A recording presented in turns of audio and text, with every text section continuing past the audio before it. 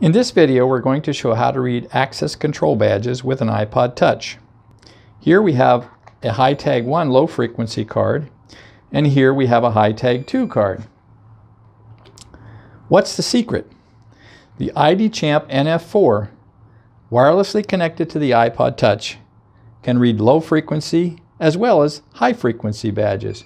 Here we're reading a Prox card, a DesFire card, and even an iClass card.